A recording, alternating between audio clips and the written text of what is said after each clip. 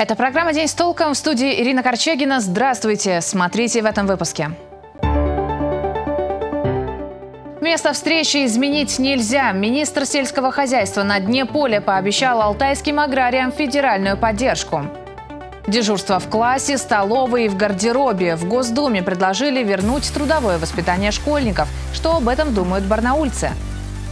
В Алтайском крае впервые проведут соревнования по дрэг-рейсингу всероссийского уровня. Барнаульский аэропорт ищет подрядчика для строительства нового терминала. Уже объявлен тендер. Начальная стоимость объекта 4,5 миллиарда рублей. Отбор проведут в формате открытых переговоров. Заявки на участие в процедуре принимают до 16 августа, а итоги подведут 28 августа. Работы планируют начать с момента подписания контракта, а завершить объект к июлю 2025 года. Площадь будущего аэрокомплекса 8,5 тысяч квадратных метров. Это трехэтажное здание с пропускной способностью в миллион с лишним человек. Помимо основных блоков, в нем предусмотрены зона отдыха, посадочная галерея и телетрапы. Предполагается, что к январю 2024 года должны быть готовы монолитные конструкции. К концу ноября – монтаж кровли, фасадов, металлоконструкций. До середины 2025 года – инженерные и коммунальные системы, внутренняя отделка и благоустройство. Полностью завершить объект планируют через два года. В дальнейшем терминал планируют реконструировать под международный. Также ожидается реконструкция взлетной полосы. Сегодня в крае завершился второй день работы масштабного агрофорума «День сибирского поля». А накануне в нем принял участие министр сельского хозяйства Дмитрий Патрушев. Глава федерального ведомства провел на форуме оперштаб по обеспечению стабильной работы агропромышленного комплекса и рабочую встречу с главой региона Виктором Томенко. На ней он отметил, что уровень рентабельности сельхозпредприятий Алтайского края выше среднероссийских показателей. И это верное направление агрополитики нашего субъекта. Патрушев заметил, что наш регион участвует в семи проектов комплексного развития сельских территорий. На это ему выделено 350 миллионов рублей. Ну а дальше тема продолжит моя коллега Анастасия Дороган. Леон должен стать на прилавках, должен появиться на прилавках наших магазинов. Амбициозные планы и такие Лев Каленов ставил себе всегда. За их достижение медаль Героя труда директору Бийской льнопредельной компании пристегнул полпред в Сибири Анатолий Серышев. Ордена и медали в этот день вручили порядка 30 специалистам аграрной сферы края. Так начался День поля. Масштабный агрофорум, на котором встречаются фермеры, животноводы, производители техники и семян порядка полутора тысяч тонн оригинальных семян мы производим. Их приобретают наши элитно-семеноводческие хозяйства и в пределах 17 тысяч тонн элиты предоставляем для наших сельхозтоваропроизводителей. Алтайские селекционеры закрывают 60% потребностей фермеров края. Опасения сельхозпроизводителей год назад о том, что им нечего будет сеять, не оправдались. А сейчас к семенам алтайской селекции присматриваются уже соседние регионы Казахстан и Монголия. Потенциал этой сферы оценил министр сельского хозяйства Дмитрий Патрушев, который приехал в край специально на День поля. Главе ведомства представили и новинки машиностроения. Например, новый трактор «Кировец», для которого производят на Алтае шины, диски и элементы топливной системы. Или агрегат для внесения жидких удобрений в почву движение влево-право, то есть ограничители хода, для того, чтобы э, не было излома иглы. Э, трактор, когда едет вперед, он э, не имеет прямолинейности движения. То есть он может где-то вилять, где-то что-то объезжать препятствия. Соответственно, если он начнет поворачивать, весь агрегат 12 метров тоже начнет поворачивать. Чтобы не ломалась игла, есть именно вот это вот движение. А рядом с отечественными машинами стояла техника с иероглифами, нюансы, отвечающие духу времени. Например, этот трактор приехал из Китая. Его производитель не просто делает ставку на Россию, но и приспосабливается под запросы российских фермеров. Поменяли кабину, установили э, аксиально-поршневой насос. Мы ведем переговоры, чтобы все-таки они автоматическую коробку поставили. Э, более внутри, скажем так, кабины под привычный уже европейский стандарт переработали. Отечественная и китайская техника почти вдвое доступнее российскому фермеру, чем европейская или американская. И чаще всего аграрии делают выбор в пользу именно отечественных машин. На Китай смотрите? Смотрим помаленьку. Как вам? Пока никак. Просто, про, просто смотрим. Не впечатляет или все равно стереотип? Сервиса нету. Успешным прошедший год оказался для всей агросферы края. Уровень рентабельности алтайских сельхозпроизводителей превысил среднероссийский. Урожай достиг рекордных объемов, несмотря на непростые погодные условия. С погодой нелегко и сейчас. В Алтайском крае достаточно большое есть вот, э, большие площади пашни, где ни одной капли осадков не было ни в течение всей весны, ни в течение пока что всего июня. Настоящие профессионалы своего дела и в прошлом году, и в позапрошлом, несмотря на все испытания, которые тогда э, внешние факторы и обстоятельства нам устраивают, умеют и знают, как даже в сложных условиях давать действительно рекордные, рекордные результаты. Поэтому уже который год алтайские аграрии бьют рекорды, а в 2023-м увеличили площади под гречиху. Площадь под ключевой для вашего региона культуры гречихи превысила 700 тысяч гектар, и я вас хочу поблагодарить. У нас гречиха всегда такая достаточно капризная культура с точки зрения и цен на нее, и достатка в магазинах. Но если мы увеличиваем площадь, значит ожидаем больше урожая и меньших, меньших колебаний э, с точки зрения цены. Ход посевной кампании в крае и в целом в стране подробно обсудили на оперативном штабе министра сельского хозяйства России Дмитрия Патрушева. С главой края он поднял вопрос объемов производства, ключевых проблем сферы и мер поддержки аграриев. Мы скорректировали механизм расчета экспортных пошлин. Это позволит снизить финансовую нагрузку на отрасль. До ноября включительно продлен комплекс мер по стабилизации цен на рынке минеральных удобрений. Министр подчеркнул, что федеральное ведомство готово оказать поддержку Алтайскому краю. В 2023-м регион участвует в семи мероприятиях по комплексному развитию сельских территорий, на что получил 350 миллионов рублей. Это деньги на строительство жилья, дорог и благоустройства. Кроме того, Виктор Томенко обратился с просьбой доп. финансирования аграрного вуза края и поддержки некоторых других отраслей. Обсудили ситуацию, складывающуюся на рынке молока, перспективах ее дальнейшего развития, э, зерновых интервенций, которые предположительно будет делать осенью э, Минсельхоз, э, ну и возможности расширения сбыта продукции нашими предприятиями, фермерами, хозяйствами, в том числе используя направление сегодня на восток, там, где мы тоже сегодня ну, пока что еще присматриваемся, делаем только первые шаги по возможному участию вот в проекте сухопутного зернового коридора на Китай. День поля – еще один способ решать вопросы сбыта, поставок, реализации продукции. Ежегодно в рамках агрофорума заключаются десятки соглашений о партнерстве. В этом году в мероприятии приняло участие больше 330 компаний. Анастасия Драган, Дмитрий Денисов. День с толком. Алтайский Сбер стал стратегическим партнером Дня Сибирского поля-2023. Представители компании рассказали участникам и посетителям форума о цифровизации агропромышленного комплекса, кредитных продуктов для сельхозпредприятий и других финансовых инструментах. Какие возможности открывает такое сотрудничество, расскажем далее. Площадка Сбера, участника стратегического партнера Агрофорума, пользуется неизменным интересом у посетителей. Компания консультирует по вопросам кредитования, лизинга, агрострахования и представляет передовые цифровые решения. Здесь э, технология агропилот, а, который можно использовать на комбайнах. Мы даем рекомендации нашим клиентам с точки зрения стратегии развития бизнеса, а, спроса на их продукцию, даем всевозможную аналитику, которая полезна как раз для того, чтобы бизнес наших партнеров развивался. Сбер подписал на агрофоруме несколько соглашений. Вместе с Министерством сельского хозяйства края компания поддержала новую инициативу – проект «Цифровая трансформация хозяйства». Его цель – продвигать новые технологии в алтайские хозяйства, показать, как, применяя различные цифровые решения, можно увеличить производственные показатели предприятия. Цифровые технологии в АПК Енисейска мы начали внедрять 2022 года. Они нам позволяют следить за состоянием полей, за состоянием животных на фермах. Все это сводить в цифру, получать анализ и экономить средства, которые мы можем потом использовать на развитие нашего предприятия. Новый перспективный проект – один из важных результатов форума с участием Сбера. Его руководители и специалисты провели переговоры с несколькими десятками компаний. Сотрудничество, которое сложится, откроет новые возможности для конкретных предприятий и всей аграрной отрасли края.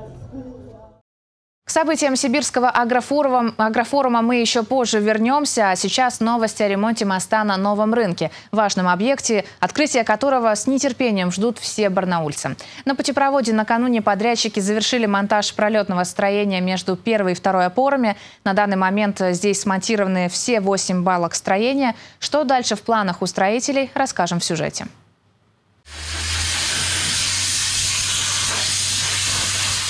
Конструкция на новом рынке все больше становится похожа на мост. Монтаж пролетного строения между первой и второй опорами завершен. Теперь строители начали монтировать балки следующего пролета. Собирают блоки, из которых и будут состоять балки. Совсем скоро все опоры восьмипролетного путепровода будут готовы. Активно ведутся работы и на трехпролетном путепроводе. В настоящее время у нас ребята выполняют работы по э, армированию межбалочных швов балок пролетного строения. Также армируем консоли пролетного строения. Это вот э, конструктивы, по которым будут выполняться в дальнейшем тротуары. И э, к концу этой недели начнем э, бетонирование вот как раз-таки этих участков. Окончание монтажа всех балок пролетных строений с их окончательной обвязкой, по словам Дениса Попридухина, запланировано на середину августа. Не говорим о том, что только после 15 мы начнем заниматься проезжей частью. Э, на данных сооружениях. Э, это будет выполняться параллельно, поэтому в начале июля мы уже начнем заниматься установкой опалубки на пролетах 1, 2 и 2, 3, потому что здесь проектно предусмотрена монолитная проезжая часть. Напомним, что мост закрыли в мае 2022 года. Его не просто реконструируют, а фактически строят заново. Когда работы завершат, здесь будет три полосы для движения транспорта в обе стороны, трамвайные линии тротуары для пешеходов. Стройку по плану должны завершить в ноябре 2023 года. Татьяна Голубева, День с толком. Трудовое воспитание школьников, скорее всего, вернется в систему образования. Так Госдума накануне в первом чтении одобрила соответствующий законопроект. Когда он будет принят в окончательной редакции, в школы вернут традиционные дежурства и в классе, и в столовой, и в раздевалке, помощь в библиотеке или в оформлении классов, работу на пришкольной территории. Как к возврату трудового воспитания детей отнеслись барнаульцы, узнавала наша съемочная группа. Пускай работают с детства надо приучать их, чтобы работали они. Считаю, что у нас раньше привлекали в наши времена, ничего страшного не было. Поэтому если труд э, на пользу, значит все можно, и это я так считаю. Правильно делают. Нет, вообще неправильно. Все должно быть по доброй воле. Принудительно ничего никогда не получается. Они сейчас в телефонах сидят. Да. Они на улице не ходят. Это как-то их как-то, ну я не знаю, потому что, да. Потому что этот, вот этот телефон, компьютер и все, они, их не, не, на улицу не выгонишь. Друзья у них будут, во-первых. Интересы какие-то, может, будущей профессии поможет. Да, я думаю, нет. Им надо, наверное, больше всего к учебе время уделять чем к труду. Весь год учатся, а летом нужно как бы отдыхать. Очень положительно. А почему? Ну, потому что это вполне естественно, детей приучать к труду, даже вот такого маленького. Собери игрушки, подбери свои вещи, даже если, если ребенку 3-4 года, а школьник тем более. Попробовать напитки барнаульского пивоваренного завода и оценить их вкус могли гости и участники агрофорума «День сибирского поля». Завод уже много лет презентует свою продукцию на масштабном сельскохозяйственном форуме. Этот год тоже не стал исключением. Прохладительные лимонады, освежающие чаи, бодрящие энергетики, содовая и минеральная вода. Широкая линейка безалкогольных напитков в пэт-таре и алюминиевых банках представлена на площадке Барнаульского пивоваренного завода. Свою продукцию БПЗ традиционно выставляет на агрофоруме «День сибирского поля». Наша продукция широко известна по всей Сибири и за ее пределами. Соответственно, многие коллеги и участники не с нашего региона, они знают нашу продукцию, приходят, э, просят продегустировать. Ну и тем более сегодня замечательный жаркий день, что еще более способствует, так сказать, утолению жажды. Стенд БПЗ на агрофоруме – это не просто презентация выпускаемой продукции, но и возможность рассказать о новинках. В этом году Барнаульский пивоваренный завод планирует расширить ассортимент. Все карты руководства пока не раскрывает, но завесу тайны немного приоткрывает. Это будет э, расширение линейки безалкогольных напитков GS Good Stripes. Очень интересный, ну и, пожалуй, уже известный вкус для многих. А, также это будет расширение линейки энергетиков. Вот, ну еще очень один классный э, продукт, э, функциональный напиток. На Барнаульском пивоваренном заводе работают около полутора тысяч сотрудников. Разрабатывают оригинальные сорта по собственной технологии. На сегодняшний день на заводе выпускают 27 сортов фирменного пива и 23 вида безалкогольных напитков. В плане и дальше наращивать объемы. Больше 60 хозяйств Алтайского края применяют уникальные препараты для лечения животных. Эффективные и безопасные лекарства на основе стволовых клеток презентовала на дне Сибирского поля компания «Экогенез». Вот у нас препарат мастидерм. При его применении практически ну, стопроцентное мы излечиваем от маститов. Препараты для лечения воспаления, опорно-двигательного аппарата, кожного покрова у кошек, собак, лошадей и коров. Компания «Экогенез» предлагает животноводам уникальные лекарства, в составе которых натуральные ингредиенты на основе секретома стволовых клеток. Наш препарат э, эффективный э, при заболеваниях э, гинекологии, при заболеваниях маститов, при заболевании копыт. Ну, вообще препарат универсальный, он на основе стволовых клеток. Биопрепараты появились в стране несколько лет назад. Производят их в Белгородской области на предприятии «Навистем». Ветеринарную продукцию на Алтае представляет компания «Экогенез». Сегодня больше 60 хозяйств Алтайского края покупают эффективные мази, инъекции, оценили лекарства в Новосибирской и Кемеровской областях. В этой массе ей очень много можно вылечить. Она, в принципе, она недорогая. Хозяйство покупают э, без проблем. Данные препараты позволяют решать большую часть вопросов в животноводстве, так как оказывают комплексное воздействие на организм. Он не антибиотик, и поэтому действует на иммунную систему, которая позволяет э, бороться со многими заболеваниями. Он стимулирует ее и тем самым оказывает э, благоприятное действие. Еще одно преимущество препарата в том, что ту же молочную продукцию можно употреблять сразу же после инъекции, а не ждать около трех недель, как это обычно бывает при лечении животных антибиотиками. Конкурсный отбор фильмов 25-го Всероссийского Шукшинского кинофестиваля завершен. В этом году работы отобраны по трем номинациям – полнометражное, игровое, короткометражное, игровое и документальное кино.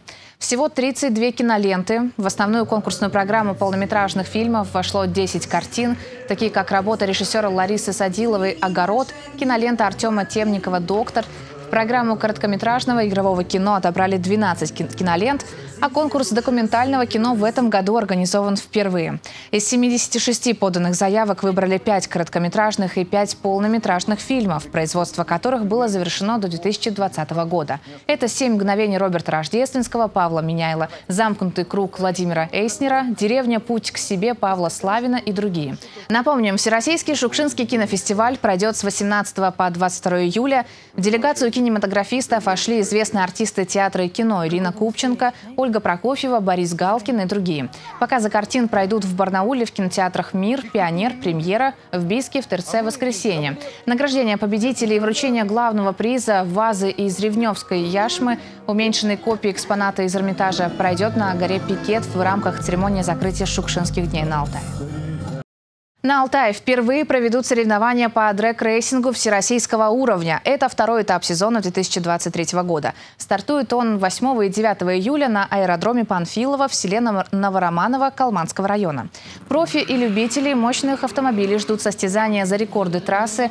Уникальность соревнований в том, что участники, занявшие с 1 по 5 место в своем классе, получат звание кандидата в мастера автомобильного спорта. В гонках другого уровня это более длительная процедура. Добавим, в первом этапе соревнований принимали участие 84 пилота из 12 городов России. Сейчас ожидается большее число гонщиков. На этом у меня все новости. Смотрите нас на 22 кнопке в соцсетях. Для вас работает телефон нашей редакции 205 545. Через несколько секунд узнаем, какой будет погода. Спонсор прогноза – компания «Эвалар». До встречи в эфире.